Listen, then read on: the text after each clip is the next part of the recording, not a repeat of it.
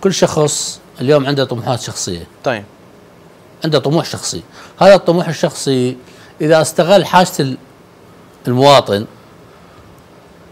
بغير صدق النوايا بالنتيجة راح نختلف كل نائب مع نائب ثاني.